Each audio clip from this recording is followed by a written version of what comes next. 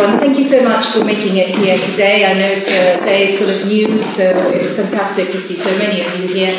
I'm the director of the FPA. Uh, somebody who, anybody who doesn't know me, my name is Deborah Bonetti. I'm going to chair this with a very, very light hand because we've got a huge panel, and of course, as soon as Stella Assange uh, arrives, we will have one more person here.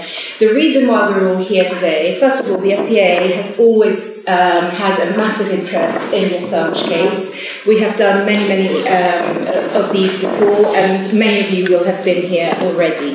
Uh, if not, we will continue to have as many as it takes uh, to see this to maybe a, a, good end. Anyway, we're here with Stefania Maurizi. I'm delighted to, to say that she's chosen the FPA to talk about her book, and we have a fantastic panel here. We have Ewan MacAskill, uh, who is a Pulitzer Prize uh, winning author and has been on The Guardian for longer than I or him care to mention. We have Estelle Dehon here, who is one of the uh, lawyers on the Assange case, and of course, Stefania. Um, she's a lawyer for yeah. my FOI. Uh, yes. Mm-hmm. Yes.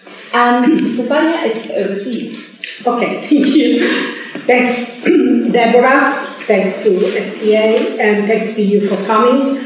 Uh, so I'm, I'm an investigative journalist. I have, um, I have been an investigative journalist for the last 16 years, and I have never seen a case like this. And I have spent 13 years on this case. Of course, not just on this case, even on other cases, uh, but uh, 13 years on this case. Why? Why so many years? Uh, first of all, I have worked on all the WikiLeaks documents from the very beginning, even before the collateral murder. Uh, it was 2009. Uh, actually, it was 2008 when one of my sources stopped talking to me. She was convinced she, she was an Italian source, and uh, she was working for a legal firm. She had seen something really important. I don't know what.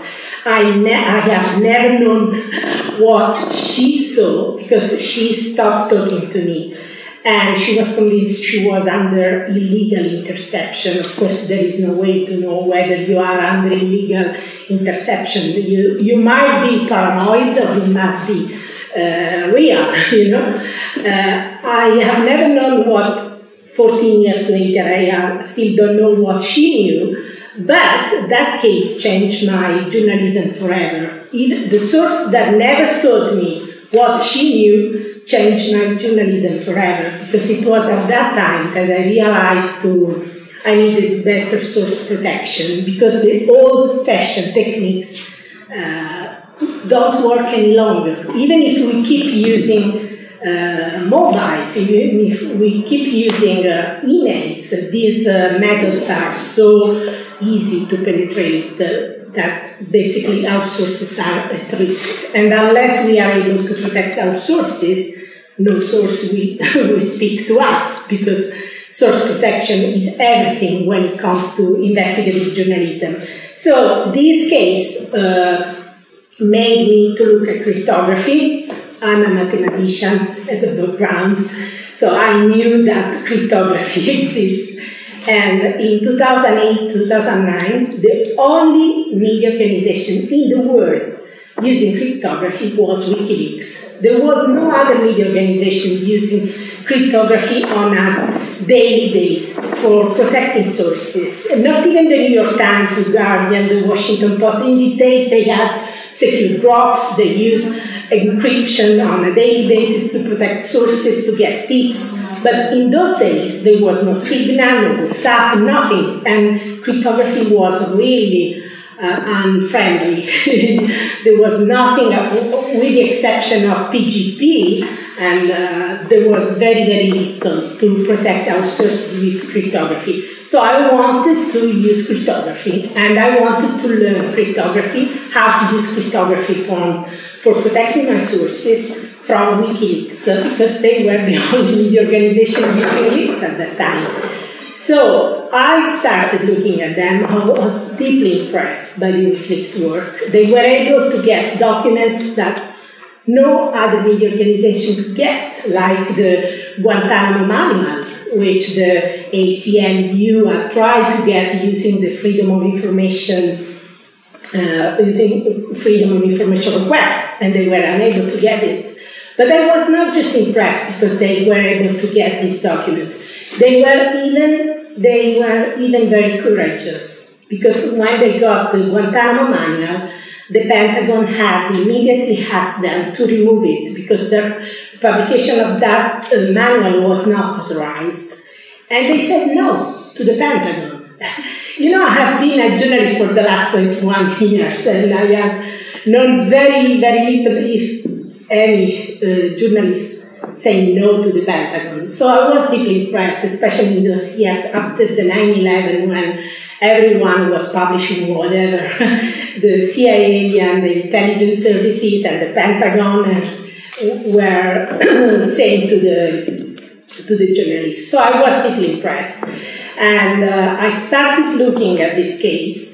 And uh, you know, uh, I can tell you, I have worked on all of them. I work on the Afghan warlogs, Iraq warlogs, uh, on the cables, on the Guantanamo documents, on the CIA Vault 7. I work on all of them.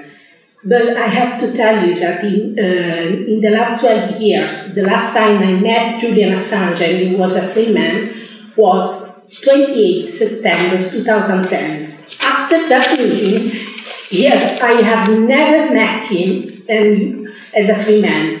I met him under house arrest. I met him under uh, in the embassy, in the Ecuadorian embassy, but I never met him as a free man. He he ended up in this uh, in what uh, Ken Loach called a monstrous injustice. He lost his freedom. He and he still has to regain it. So when he was, uh, he had already spent five years uh, confined and uh, he was under arbitrary detention. It's not my judgment, it's not my assessment that he was under arbitrary detention. It was the assessment of the UN body in charge of establishing who is un- under arbitrary detention, the UN Working Group on Arbitrary Detention. So the UN Working Group on, on, on Arbitrary Detention established that he was arbitrarily detained since 2010 precisely when he started publishing the cables. Since then, he, he lost any chance to be a free man. And, uh, you know, after five years he had been arbitrarily detained, I decided I, I want to get access to the documentation about this case because I, I want to understand what is going on. I want to understand why cannot regain his freedom? Why cannot? Why is in the embassy? Why is uh, he lost his freedom with no end in sight? So I used the only. It was an Italian prosecutor who told me you should try to discover why this why the Swedish prosecutors at that time was, was under investigation for alleged rape and sexual molestation in Sweden. And my this high-profile Italian prosecutor told me it doesn't make sense to me that these guys don't want to go to London to question him and to decide whether to charge him for rape or whether to dismiss the case. We have been in Brazil to question very dangerous mafia bosses, so why they cannot fly from Stockholm to London to question him and to decide whether to charge him or whether to dismiss the case? You should try to discover this. So I, as an Italian investigative journalist, I had no sources inside the Swedish prosecution. So my only hope was to file a, an FOI request in Sweden and try to get the FOI documents about this case from the Swedish prosecution, precisely the authority which had put him under investigation for alleged rape and sexual molestation. I could have never imagined that this work would have completely absorbed me for the last seven years because in the last seven years I have been fighting to get this documentation from Sweden, from the UK, from the US, from Australia, and all these four governments denied me access to this documentation. But even if they deny, they have kept denying me this documentation, and my FOI lawyers, Estelle, uh, with, together with Jennifer Robinson, is representing me in, uh, in the UK. I have seven lawyers to try to get this, these documents from Australia, US, uh, Sweden, and, and uh, UK, uh, Sweden, US, and Australia. Seven lawyers to get this, uh, these documents. I have reconstructed the, the, whole, the whole case, including this trench warfare. I call this because it's a real trench warfare in my book. And uh, you know, uh, what we have discovered, even if they have used all their legal sources to deny me documents, what we have discovered, uh, discovered is really important. We discovered that it was basically the UK authorities at the Crown Prosecution Service which had put pressure, which had basically has the advice the um, Swedish prosecutors not to question Julian Assange in London. So they had contributed to create this legal and diplomatic manner. At that time, the Crown Prosecution Service was headed by Keir Starmer, the current leader of Labour. And uh, we discovered that uh, mm, the, in 2013, even the Swedish prosecutor realized that this legal strategy had no exit in sight, so they wanted to drop the, the extradition proceeding.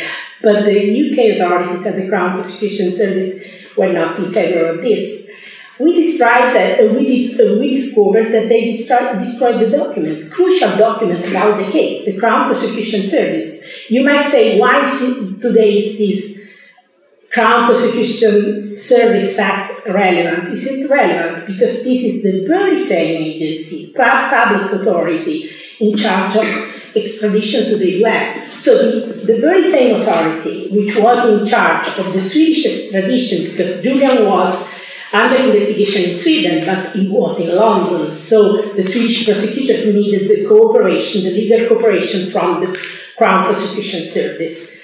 This Crown Prosecution Service is the very same authority in charge of the US extradition in these states. And they destroyed crucial documents about the case. We discovered this, and Maria can tell you the technicality, the legal technicalities and facts. We discovered this in 2017. And we discovered this because they said, the Crown Prosecution Service said, we gave you all the documents we have about Sweden. I checked and I realized that it was definitely not true because there, there, were no, there was no correspondence about Sweden in, uh, between Sweden and the UK in those crucial weeks where Julian Assange was, for example, um, in the, took, uh, took refuge in the embassy and asked for asylum. It was impossible that in, that, in those weeks the UK authorities and the Swedish authorities had not exchanged any communication. So I discovered these gaps. And when I realized these gaps, through my lawyers, I asked the Crown Prosecution Service, it's not true that you provided the full documentation. Could, could you give us the full correspondence, and they said, we destroyed it. So they destroyed these crucial documents about the case, and we don't know what exactly they destroyed. They claim they don't know what they destroyed, which is quite unbelievable that a public authority destroyed documents about an ongoing legal case, which is highly controversial, which is highly um, high, high profile, and they don't know what they destroyed, why, on whose instruction, how. They have refused in the last five years. We have tried with my lawyers to appeal and appeal and appeal. They have refused for the last five years to provide any answer on what they destroyed, why, on whose instruction. We don't even know if precisely this destruction happened after Keir Starmer or later and why. And in Sweden, when I tried to get the, the same documentation from Sweden, they said these documents do not exist.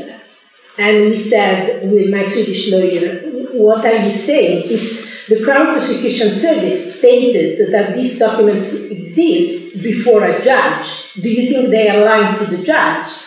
And they said, these documents do not exist. Then they changed and said, maybe these documents are no longer available. So with my Swedish lawyer, we have the court, the Kammarrätten, which is the Swedish administrative court of appeal, where you can appeal an FOI case. And we asked the Kammarrätten uh, to ask the Swedish authorities to clarify why these documents are not available to them. And they refused. They said, these documents maybe do not exist, maybe they are destroyed, so maybe even Sweden destroyed key documents about this case. When we went to the parliamentary, Swedish parliamentary ombudsman, trying to investigate the, these documents, whether they have destroyed them, the Swedish parliamentary ombudsman refused to open an investigation and refused to provide any explanation on why they, on whether these documents have been destroyed, whether these documents have been removed from any archive and they cannot find it. Stefania, sorry if I interrupt you, but it is yeah. very clear that you've had a huge pushback when you were trying to find the documents. Uh, but if I can ask you, just to uh, give us an idea, so this book reconstructs the pushback, but also reconstructs what you have found, right? Because you have not been able to access some documents, as you just explained. But what has made you then jump from that conclusion? You could not get the documents you need, and therefore there is a secret power at work. What made you uh, go on to create this book, and what is in it? Actually, the book is about the whole case because I have worked on all the documents, even the, from the very beginning. So I wanted to make people realize why WikiLeaks is a unique media organization. Unique in the sense that many newspapers and media organizations publish uh, secret documents, classified documents. This is what national security correspondents do all, all, around the world, from the Washington Post to the New York Times. What is unique about WikiLeaks is that they they haven't just published some classified documents, or they just don't publish many classified documents. They have uh, they have opened a gaping hole to what I call the secret power, the highest level of power, the power where diplomacies, state, uh, state authorities, secret services move. And this secret power is uh, very upset at Julian Assange WikiLeaks. And what they want, the secret power, what I call the secret power, want Julian Assange dead. Absolutely. And not just him even the WikiLeaks journalists, we discovered even information about involvement of uh, British secret services, presumably MI5, in the investigation of three WikiLeaks journalists, former and current WikiLeaks journalists, Sarah Harrison, Joseph Farrell, and Kristinn Hrafnsson, who is the current WikiLeaks editor. So it is, the case is not just about Julian Assange, of course, it is about him because he has been literally destroyed. But it's not just about him. They want uh, him dead. They want the whole WikiLeaks destroyed, and the whole uh, revolution because they unleash a revolution in journalism whatever you think about Julian or WikiLeaks, they unleash a revolution. And so they have the secret power, what I call the secret power, which is not a conspiratorial entity. You know, is the, the state, the state authority which use secrecy not to protect citizens. They use secrecy to protect state criminality and to get impunity for these state crimes. And I reconstruct their own revelation providing this evidence of state criminalities from the Afghan warlords to Afghan warlords to the cables and Guantanamo. Uh, I reconstruct the full um, uh, the full revelations. So they want to kill him, and they just don't want just to kill him. They want to kill a revolution so that the next journalist who gets collateral murder or uh, cables think twice and maybe three times and say, I don't want to end up like him. I don't want to end up in a you know. That was precisely what I was going to ask you. Do you think that there is therefore already self censorship by other um, journalists who are thinking twice or three times before? I think so. I think so. I, I really wonder who will publish the next collateral murder or the next cable with the next cable because you know you, you realize that your life is finished you have to hope to find an embassy and then you have you end up in Belmarsh so and you see the criminals you see the criminals who sleep peacefully in their beds with their children where Stella and uh, you know Gabriel and and Max uh, can only see their fathers in Belmarsh. So how a journalist can can be encouraged to publish if his life is destroyed. And this secret power, have you found that it's more one of these states? Is it more UK? Is it more US? Is it Sweden? Is it Australia? Is it widespread? Where is this secret power exactly? Which well, ones did you find out? Yeah, of course it is. US, UK, given the special relationship and the intelligence uh, relations, but also Sweden, Australia, and the allies. And of course, even but this is not just about the US. This is about, I mean, uh, a journalist who uh, a Russian journalist or a North Korean journalist or a Chinese journalist revealing capable of collateral murder would be killed on the spot. You know, I don't believe that the secret power, you know, uh, is um, you know is uh, ferocious just in U.S. or U.K. He, he would have been killed had he done this in uh, U.S. in uh, China or Russia. However, you don't have to believe that this is is less brutal. Because at the end of the day, you can bring a journalist uh, dead, uh, sending killers, or bringing him on the brink of suicide, as they have done. So it is more subtle what they have done to Julian. They didn't send killers to kill him, like in Russia or China or North Korea. But at the end of the day, they have destroyed him. And we hope we can get him out of Belmarsh but we're not sure whether we will succeed and whether he, in which conditions he will come out. So what I want is that people realize that it's not safe, not even our democracies, to expose state criminality at the highest level. Because the pay, the price you have to pay is so high. You, they, they got the best years of his life they destroyed his, his health, they destroyed his freedom. And even if he comes out alive, I don't know whether he will be the same Julian Assange after such a destruction. So I want to tell you that, it, of course, in Russia it would be worse, in China it would be definitely worse, in North Korea would be worse. But what they to him should, you know, get all of us upset because this is happening in, in Europe, this is happening in our democracies, and even in our democracies, not you have to pay an unbearable price, and that's why it motivated me to work 13 years on this case.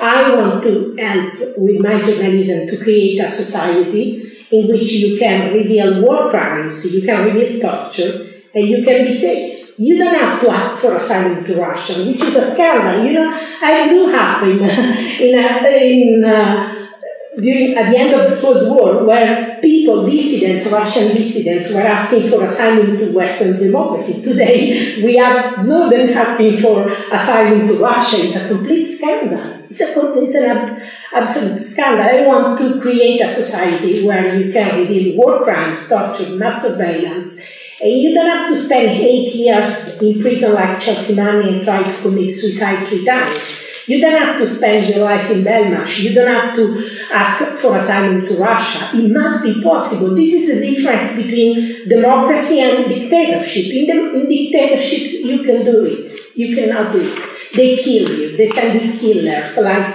Politkovskaya. she, she was killed, you know? In a democracy, it must be possible. So unless we start or we put public pressure as journalists and we change this situation, uh, you know, no one will create a society like this for us.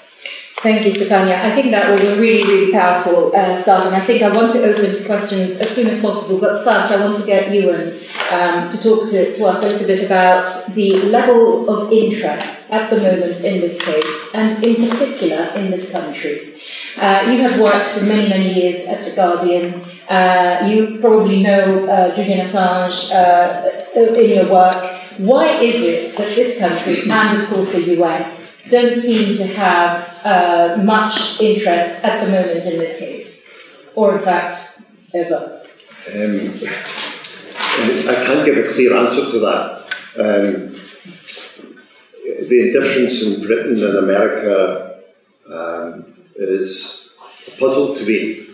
Uh, the Assange case is, um, as Stefania was saying, uh, creates a terrible precedent for investigative journalists. Um, it can have a chilling effect on future uh, investigations, and I assume that that's why the Americans so keen to prosecute Assange, not because of any wrongdoing involved in Cablegate or the Afghan war logs, but simply as a precedent um, for uh, any future national security uh, breaches. Um, the difference in Britain, um, a little of I can understand. Um, I, when he was working on the cable gates, uh, he fell out with some Guardian staff and the relationships were uh, pretty fraught, and he fell out with other uh, journalists uh, too. So there was that personal uh, element. Um, then came the Swedish, they alleged the uh, rape charges, and uh, it was roughly at that point that. Allegations. yeah, allegations. Uh, uh, that's when the British press decided they didn't have to do anything more, does it? But even though all that's now been uh, seen as it's all been dropped, um, that, that indifference uh, persists. Um, you get occasional piece, maybe an editorial in The Guardian, saying that uh, this is a terrible precedent and uh, extradition should be resisted. Uh, but on the whole, you hear very little.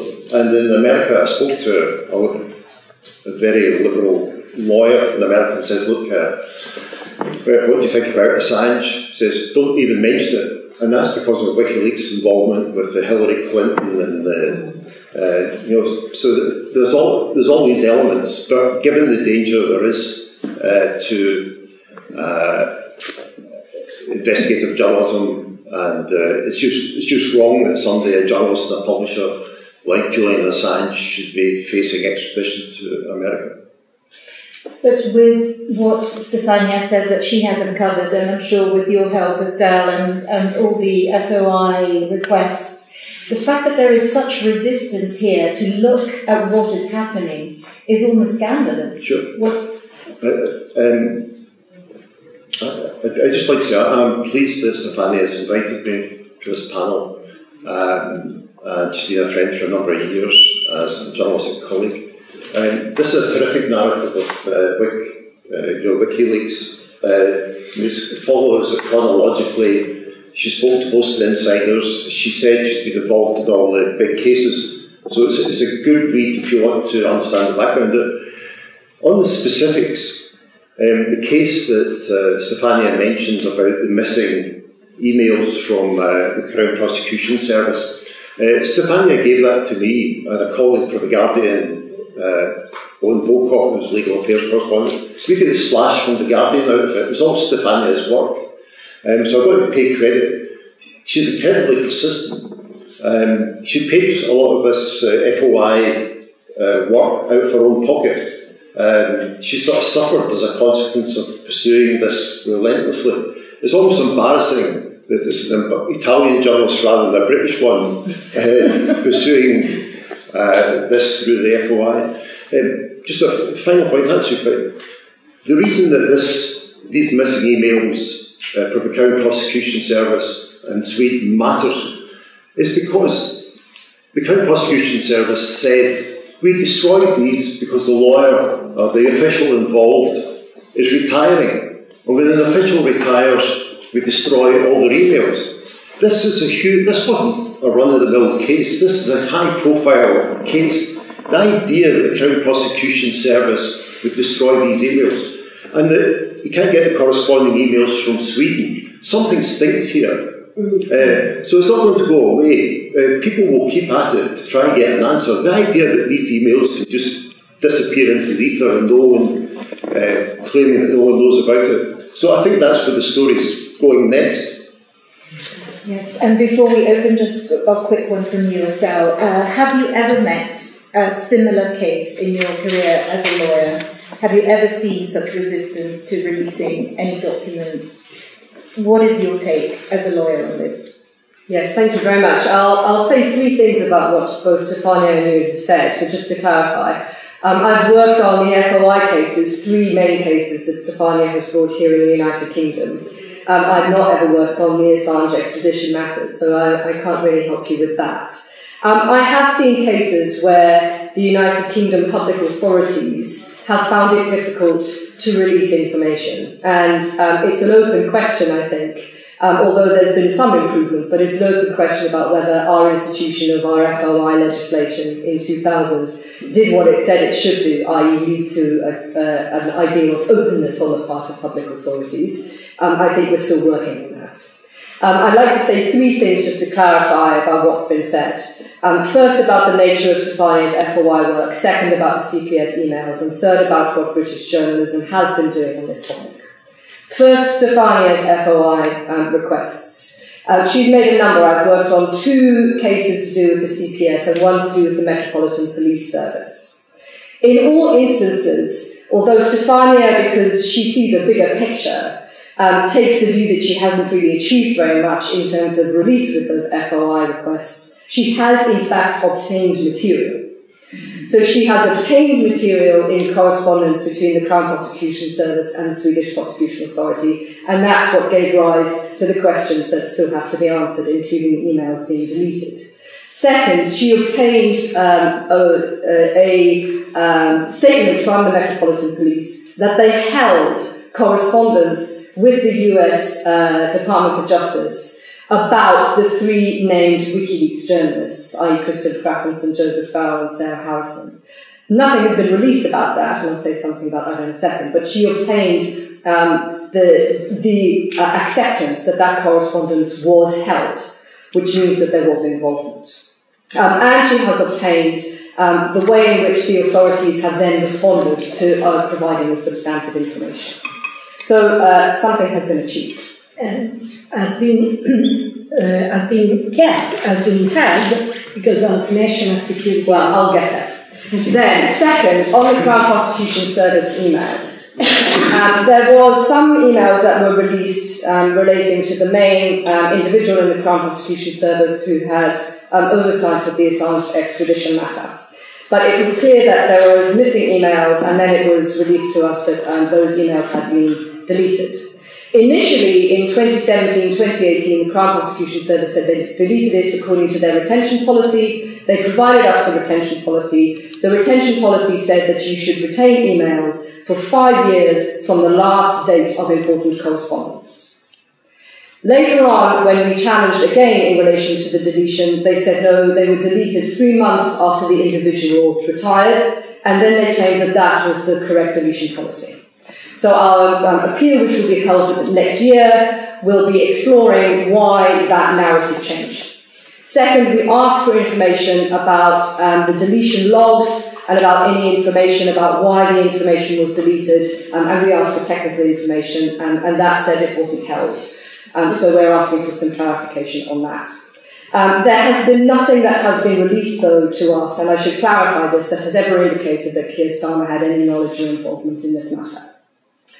Third, in relation to what they, they refuse to provide explanation who. So, and we don't know whether Keir Starmer knew, whether he was involved, we don't know. Hmm. And then third, in relation to the Metropolitan Police Service um, uh, FOI request, once it became clear that information was held in relation to these journalists, the Metropolitan Police refused to provide it, and they relied on the terrorism exemption on the national security exemption and on the crime exemption. And the National Union of Journalists in this country, and in other countries, but in this country in particular, when it became aware that the terrorism exemption was being relied on to withhold information about the Metropolitan Police potentially investigating journalists for their journalism, became involved in the FOI appeal.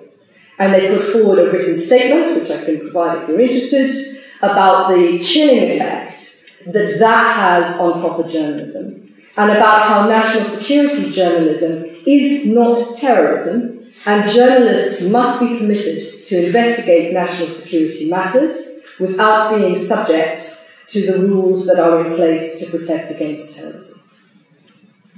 Thank you very much for that. Very clear. So it's now over to all of you. If you want to just raise your hand if you've got a question and remind us who you work with and go with the question. Don't be shy. Sorry. Uh, Orlando Consortium News. Um, you made some freedom of information requests to the American uh, Administrative uh, Tribunal recently, which were refused. I understand. Can you tell us what you were looking for there? I understand you made some requests to the uh, American Administrative, sorry, the Australian Administrative Tribunal that were refused. Is, is that right? Um, I'm not sure I understand the question. So, what Australian yeah. materials will you seeking, and what happened with the Australian FOIs? Australian FOI, they refused, saying that the release of these documents would damage Australia relationship, foreign relationship or would compromise information given to Australian authorities precisely to the foreign, foreign ministry on a confidential basis. So they refused to provide what I was looking for, that's the interesting thing, I was looking for the correspondence between the Australian Foreign Authority, the Foreign Ministry, and the US State Department and the UK Foreign Office and they refuse saying, uh, we cannot release the, so they have important correspondence because, for example, immediately they consulted with the US authorities uh, precisely in those months uh, after uh, the Vault 7 publication, which made this CIA furious. They consulted with uh, with the US authorities, uh, but they refused to provide on the basis that uh, it this correspondence, if released, would destroy the, their foreign relationships. Right. Thank you. Thank you very much. Is that a good enough excuse not to release information? So I'm not familiar with the ins and outs of Australian FOI law, but I know that it is similar to our FOI, and there is an exemption which allows uh, the public authority to refuse to uh, provide the information um, if it will demonstrably harm diplomatic relationships. But there has to be evidence that the harm will be at the diplomatic level. So, for example, in the first Crown Prosecution Service matter, where Stefania was looking for the information held between the CPS and the SPA, the CPS and the Ecuadorian embassy, and the CPS and the US authorities, there was some initial reliance on this diplomatic exemption. But because we challenged it, that was withdrawn because there was no evidence for that information about an impact on, at the diplomatic level, on um, those sorts of relationships. It may be different with foreign, um, if the, the, correspondence is actually at the diplomatic level, but I don't know whether that was the case. yes, the, the, Australian authorities, uh, the Australian authorities didn't provide any rationale, any evidence that if released, this correspondence would damage their foreign relationships. And when I asked to my Australian FOI lawyers, do we need evidence? Because in the UK, to use this exemption, the, the Foreign Office has to provide, and the Crown Prosecution Service have to provide evidence. My lawyers told me, no, this is uh, an absolute uh, exemption, so they don't have to provide any evidence. That's extraordinary. Uh, Catherine. Uh, Catherine Nish from uh, Stella. Yeah. Hi, Stella. Hi, Stella. Uh, yeah, Catherine. Um, Catherine Nish from uh, Swiss Radio. Uh, when, when you talked about Chelsea Manning, so she, she, she got a grace from President Obama. Uh, so does that mean that President Obama was not part of the secret power? So there's a difference between the presidents of the United States? Do you want to try it? Um, I, I'm not. I mean, I, I worked in America for a while, and I was there during Chelsea Manning and uh, Obama, but I can't give you an authoritative answer. Uh, I'm assuming it was done in compassionate grounds. Um, the, there's some suggestion um, that uh, Obama might also give a pardon to Edward Snowden, uh, but the intelligence agencies certainly blocked that. Uh, and I assume they'd probably do the same uh, in the case of uh, Assange, unless there were compassionate grounds again. Yeah. But does, does that mean that they see Assange as a bigger threat than Chelsea Manning, or mm, how, how, how can we explain the, this difference of treatment? The um, I think it's good. The what the Americans are scared of and the British are scared of is another uh, whistleblower. Uh, so the intelligence agencies will uh, do whatever they can to try and dissuade whistleblowers. Um, if you get somebody like Chelsea Manning and then there's compassionate grounds, you leave that aside. But WikiLeaks was seen as actively seeking um, uh, secret documents. Uh, and th- that's what we're scared of, uh, organisations like uh, WikiLeaks. Um, so you can see um, the level of documentation that we saw in cable gates and Afghan war and Iraq uh, uh, war logs. Um, they were secret documents, so uh, if Assange ends up, as he probably will, back in the States, then he's facing anything from you know, decades in jail. He's, he'll be tried under the Espionage Act and uh, could be anything from 20 to over 100 uh, years. Uh, with Snowden, the, category of secret documents is way above what um, was revealed by WikiLeaks. So, in the case of Snowden, the chance of a pardon or compassion, um, if he's ever in, ends up back in America, then he'll be totally hammered. He's looking at, you know, lifetime in jail. Um, the, Christine, you had a uh, Just to get it clearer. Uh, oh, sorry, I'm Christine Heuer. I'm working for German National Public Radio. Uh, just, just, just to understand it better, I, I, I got why you, why you got suspicious, and I understand um, why your conclusion is plausible. Still, do you have any positive proof of your thesis? Which thesis? Because I do have. That there's a secret power who, that wants to kill uh, Julian Assange and oh, others. Of course. Uh, the evidence is what has happened in the last 12 years. He has never known freedom again. And um, I'm sure he will never regain it. And they have destroyed himself. He's destroyed. If you read the, the psychiatric assessment, the doctor's assessment, you realize how devastating the impact has been. So, I mean, the evidence is under our eyes. We just have to put, put things together and it's very easy to connect the dots. It's not that they want to destroy, it. they have destroyed him. They have destroyed him. They have destroyed Chelsea Manning. You know, she spent eight years in prison. She tried to commit suicide three times, and probably Obama uh, commuted their sentence because the, if she had succeeded in killing herself, the impact on Obama legacy would have been pretty bad. You know, I think it was uh, something. There are differences uh, between presidents. Obama didn't charge Julian. Uh, Trump did charge him. So there are differences. But when it comes to national security, what they say it's national security, they are all very serious. And this is not national security. If you read my books, you realize that the revelations are nothing about national security. These are about state criminality. These are about uh, uh, the CIA come to Milan and kidnapping a man in the middle of the day as if it was Pinochet uh, children, you know? And they use secrecy to, to grant impunity to the CIA.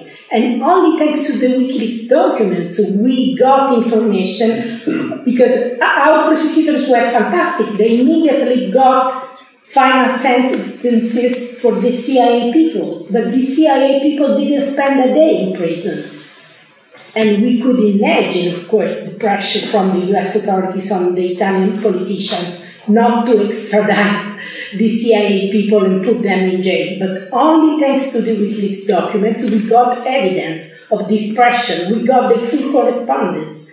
So they protected this correspondence in, this, in, the, in the US diplomacy cables using national security. This is not national security, this is protecting state criminality and to get impunity for the state authorities which are involved in these serious crimes. So they have this, they are using national security as a shield for, for their criminality. And that's why WikiLeaks is so important. Because without, I mean, we are a country, Italy is a country where we had horrible massacres due to the strategy of tension, train blowing up, and the families still comes to me and whenever we have these WikiLeaks releases, please look at the database if you find something. Because even if the, wonderful prosecutors investigating, even if the judges investigating and, and do indeed excellent work, we still don't have truth. So 60 years after, they look for the truth and they cannot get it. Whereas when it came out, we got this evidence in the documents. That's why they are so upset, so mad at Julian and WikiLeaks. They are so mad because they cannot shield, you know, their state criminality efficiently as they have done for decades. Sorry, sorry. I, I just wanted to follow up to my colleague, yeah. um, and, I, and I think also maybe what you meant as well is are you looking for a particular smoking gun in these documents that have not been released? Because I know you say the evidence is under our eyes, but you are joining dots without proof that they uh, that this secret power A exists, B wanted to kill Assange or destroy him. You can say, of course, it's obvious, but between saying it's obvious and this research for documents, you must be looking for something. What is it? So first of all, the secret power absolutely exists, and we have evidence any day. Because as I said, uh, in the case of um, this Milan cleric who was kidnapped in one of the famous CIA rendition. It was done by the CIA and it was done in the middle of the day. And even if our prosecutors named all of them and got final sentences, they never spent a day in prison. They sleep in their bed peacefully, whereas Stella and uh, and uh, her children can only visit Julian Assange very much. So you realize that this level of power is untouchable. You know, you, have, you can have the best prosecutors, you can have the best judges, the most independent judges, but they are untouchable. They haven't spent a single day in prison. No one touches them. Mm-hmm. So this this power is, uh, and, a matter of and the smoking, the smoking gun the reason why they don't have, they don't want to release this documentation is precisely because there is a smoking gun. And some bits of this smoking gun, we got it, as Estelle told. You know, the, the, the pressure on the Swedish prosecutors, which basically has created this quagmire, legal and diplomatic quagmire, which have kept Julian Assange trapped in London since 2010, is there is indisputable. If you read these documents by the CPS, which we have obtained after years of litigation, is there. You know, they work down because these people still write these documents convinced that they will never be released. They, they haven't realized that we are in the FOI ages, you know, and these documents might be released under FOI. Uh, FOI So they still put down things in the documents. That's why they don't want to release the documents, because these documents do contain the smoking gun. The, the political pressure to keep Julian in London, the political pressure to uh, influence the Swedish case, because as I said, it didn't make sense. I have worked on many crimes cases, on many, uh, I have seen prosecutors, you know, investigating criminal cases, and I've never seen a criminal case like that. And that's what made me to ask the FOI documents to Sweden. So these documents are dynamite. That's why they don't want, precisely because they contain the, the, the smoking gun. Um, there was a question down there. Do you still have one? Um, yes, because I have a legal the case on behalf of the Haldane Society of Social Lawyers. Uh, firstly, I'd like to congratulate Stefania on an absolutely excellent and educated book. I enjoyed reading it. Um, I have questions for you and um, Estelle. My questions are governments are now classifying criminal or embarrassing acts and using the classification process to hide criminality. They're renaming journalism as espionage and spying on journalists by calling them non state hostile intelligence agencies. And then they're destroying avenues for accountability, like the Freedom of Information Act, as Stefani has explained.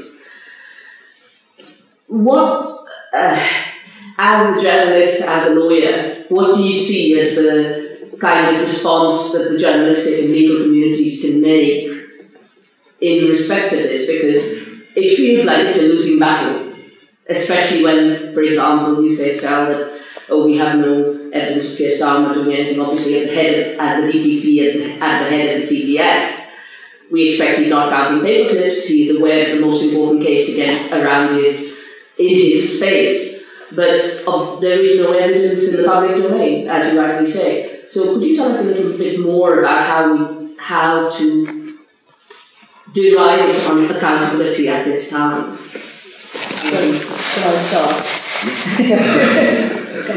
uh, it is the case that it is difficult when making a freedom of information request because one recognises there will be reliance on exemptions, it will take a long time, it is not a quick process. But my experience has taught me with a number of clients that actually you never know what will shake loose. And um, it, it is always worthwhile making the request following up the request, making the appeal to the Information Commissioner and appealing to the Tribunal, going the full nine yards. Because at each stage, and this is what happened with Stefania's requests, at each stage, something shakes loose. And that is incredibly worthwhile. So although it may not be what it was hoped, i.e., uh, a very significant and open culture of provision of information, the, the freedom of information regime is still working to bring things out into the public domain, even though it takes much longer than it should and is a more difficult process. So I say stick with it because things will come loose even though you don't expect them to. So, yeah. Oh, sorry. Yeah, if, you, if, you, if you don't mind, yeah. thank you very much, sir. Um,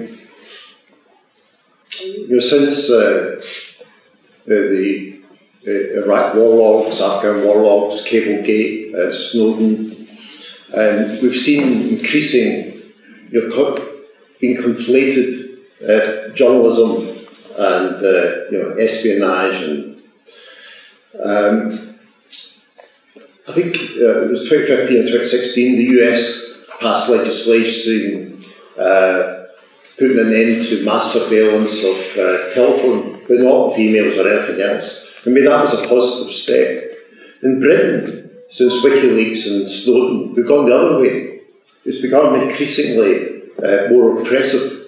And the, the Snoopers Charter that became law, I can't remember, 2015, 2016, um, that all I did was legalise what the illegalities that they'd been practicing beforehand. And since then, we've had uh, legislation, we're proposed bill going through just now uh, you know, removing the public interest argument, uh, treating journalists and um, uh, you know spies as the same. Um, just one, one personal example. Um, after Snowden, I was put on a government watch list and things, which I don't mind. I mean, that was pretty minor.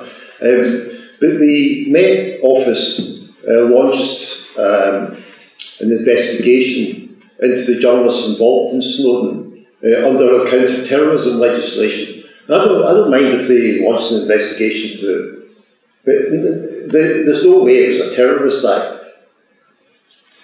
So um, I've got to admit, I'm totally pessimistic about where the legislation's going. Can I just add? It is also very disquieting what we experience. We were put, uh, we were put on, we experience uh, um, kind of interrogation at the airport. Uh, others experience Schedule 7, like uh, Miranda experienced the Schedule 7. What is uh, Schedule 7? Well, it's basically... It's anti-terrorism legislation. And uh, uh, Glenn Greenwald's partner uh, David Miranda was held in Heathrow uh, under the terrorism legislation. And we experienced also special checks at the airport. We were spied. My my phones were unscrewed inside the embassy secretly. Fortunately, we got evidence because people who did this, presumably on CIA behalf, took pictures. So our lawyers got pictures and video of these spying activities. So we, I5, and other colleagues, and of course Julian Assange uh, and WikiLeaks journalists, we filed criminal complaints in order to have an investigation on these spying activities. This is the kind of things you expect in an authoritarian state, no? This kind of uh, spying activities against journalists. But it happened here in London, so in the heart of Europe. So all these facts, all the, and the use of national security anti-terrorism laws in, in this investigation depict a very sinister, very, you know, it should be a serious concern. This is not happening in Russia, this is not happening in, uh, in China, this is happening here, now. And unless we wake up, unless we act, and unless we uh, wake up and stop uh, this extradition and we stop and we assert the importance for journalists of investigating um, state criminality at the highest level, it will be very bad for our journalism and for the right of the public to know, because this is not just about us. This is about the right of the public to know state criminality at the highest level. As I said, it's not a conspiracy. Secret power, you can call it the national security state. You can call it as you want. I call it secret power because it uses secrecy to protect state criminality, not to protect the security of citizens. This is really, is really, really important to understand. They use secrecy, classified documents, to protect CIA kidnapping a person in the middle of the day in Milan, kidnapping a person in uh, a German uh, a German citizen, Khaled al-Masri. They use this secrecy for nothing, which has nothing to do with uh, protecting citizens, of course. Uh, Juan, you had a question? Yeah, Juan Passarelli, um, just wanted to add um, to your question. I mean, it's if you just scratch under the surface of Julian Kessler, um, there is irregularity after irregularity after irregularity, ending with you know him being spied on, his with his lawyers meetings, him, uh, well, Mike Pompeo and even Trump uh, planning uh, or asking for plans to assassinate him, plans to um, kidnap him. So I mean, the secret power, secret power is absolutely there. You just have to really just scratch the surface. But I had a question for Estelle on the FOI of, um, of Kristinn Stein and Joseph. Mm-hmm. Um, we know the Met Police was in contact with the DOJ about these three individuals on uh, terrorism, national security, and criminal act. What, uh, what can be said from that? Were was the Met Police investigating them or spying on them on behalf of the DOJ? Because there's no there's no charges for them in the United States, or at least no charges that have been opened. What these were two British journalists, a European journalist, and there's terribly scary um, acts of terrorism and national security acts for for their work. Uh, what, what, I mean, can it be said that these the Met Police was uh, investigating them or spying on them on behalf of a foreign government? We don't know because the documents were not released. So let me be absolutely clear. We do not know the content of any of the correspondence between the Metropolitan Police and the US State Department. All that we know is that when the Metropolitan Police resisted releasing that information, they relied on the exemption connected with terrorism and the exemption connected with national security. And indeed, it was the national security exemption that became the focus of the appeal and was the basis on which the Metropolitan Police was successful in the first tier tribunal in resisting release of those documents. But that is all we know. We have no idea what's in the documents, um, and we, uh, it, it, seems, uh, never will.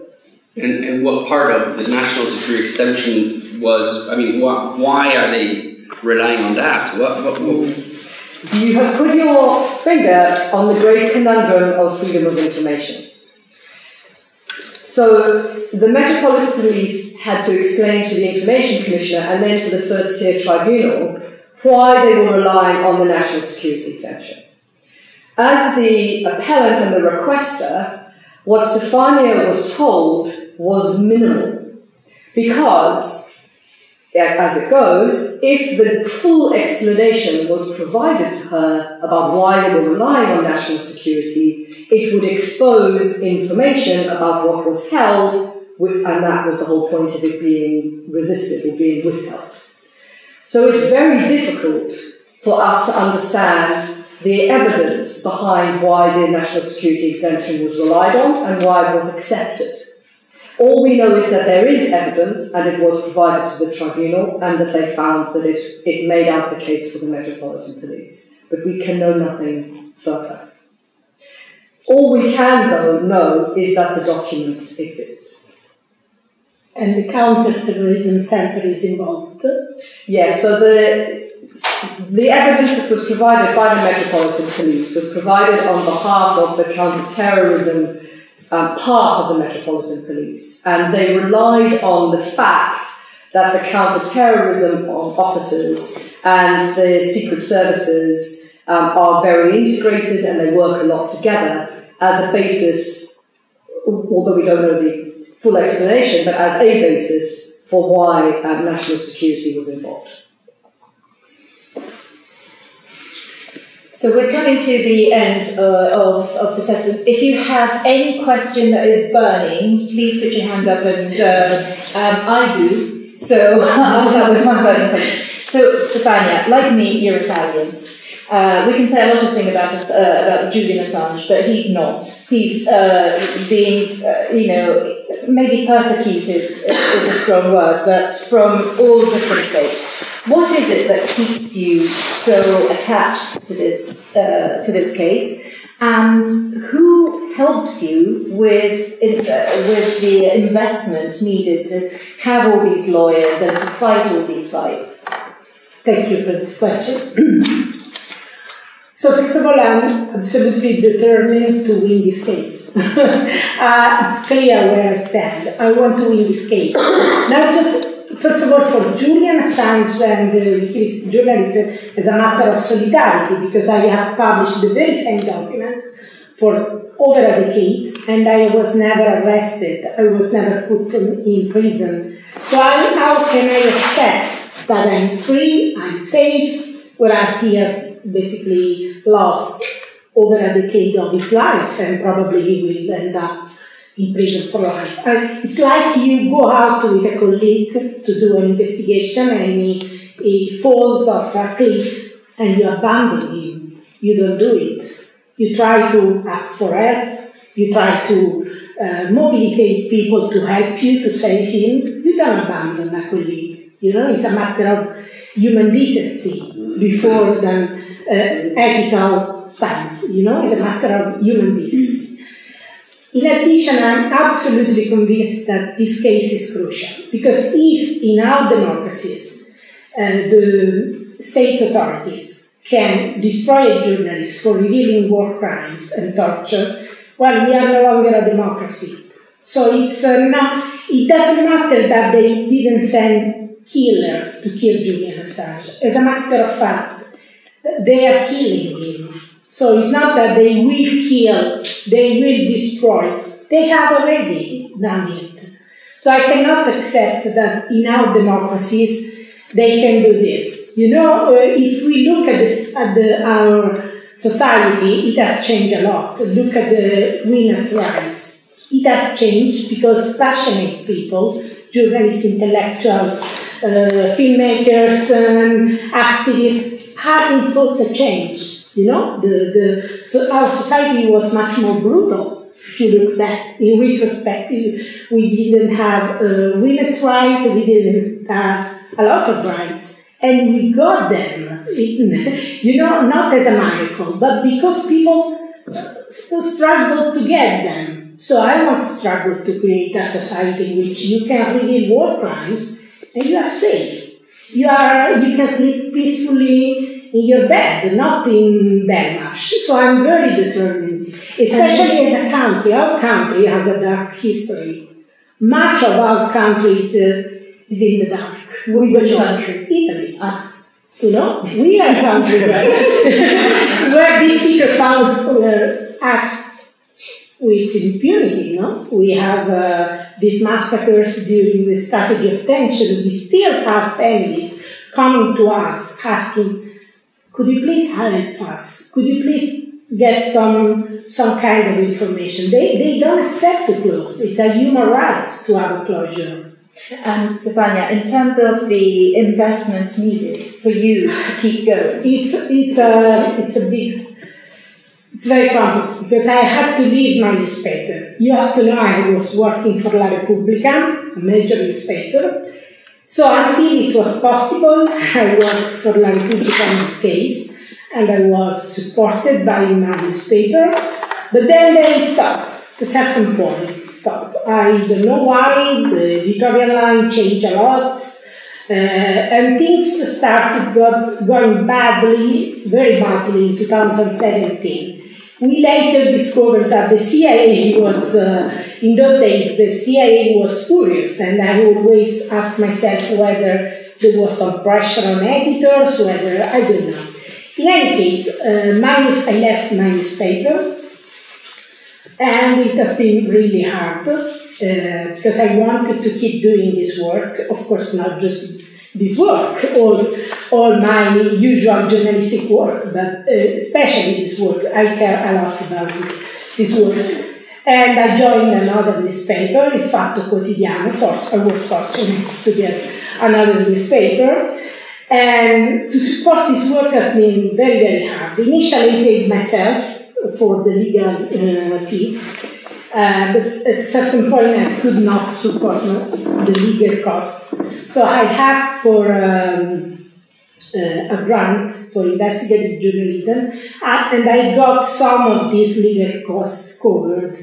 Not my work, but just the legal fees. Who is the grant from? The grant is uh, the Logan Foundation, a US foundation which basically supports artworks, uh, investigative journalism, even um, important investigative journalism. So I was very lucky, and in the US, I found a, a good law firm working completely pro bono because the legal fees in the US are now something around hundred thousand dollars to get to try to get the release. And the U.S. government, the U.S. State Department, I sued the U.S. State Department. By the way, I got some uh, four documents which contains some important uh, information, like the behind-the-scene meeting with the New York Times, the Guardian, uh, the um, comments by Alec Ross, who was a senior advisor for Hillary Clinton innovation, and he was really upset because the Huffington Post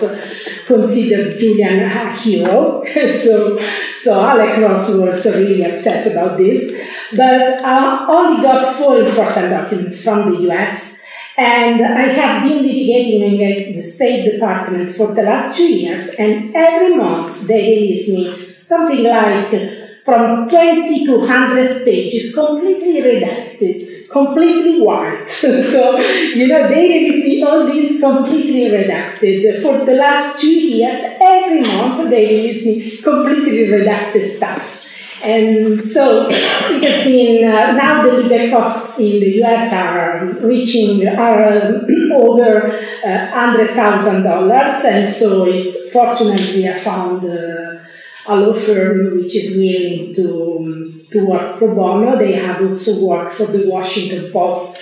They have worked on the release of the Afghan uh, papers, the documents on the Afghan uh, work, uh, work. And this is also important that you have to be able to find lawyers who are passionate, like uh, uh, Estelle, like Jennifer, like uh, the Australian lawyers, the US lawyers who are willing to work at reduced fee or fees or pro bono, because otherwise you know, I cannot ask my editor hundred thousand dollars. They they say, oh, we cannot do it. I mean, they, they simply cannot do it. You know. Okay, thank you so much for this. Uh, it's quite heroic what you're doing, Stefania, and thank you very much, you and, and Estelle, for being with us, and Stella for uh, arriving and hearing that all that from the back. Uh, thank you all for coming today, and please take a copy of the book before you leave. Can I just say, it's not heroic. I think this is what journalists should do. I mean, I think it should be ordinary journalism. It's not just printing news, as Pulitzer said. You know, it's not just merely printing news. We cannot accept that our journalists who really work hard and spend 12 years in these conditions and no one tries to, to find the truth. I mean, is that journalism, you know? We, we have to we have to work on this case.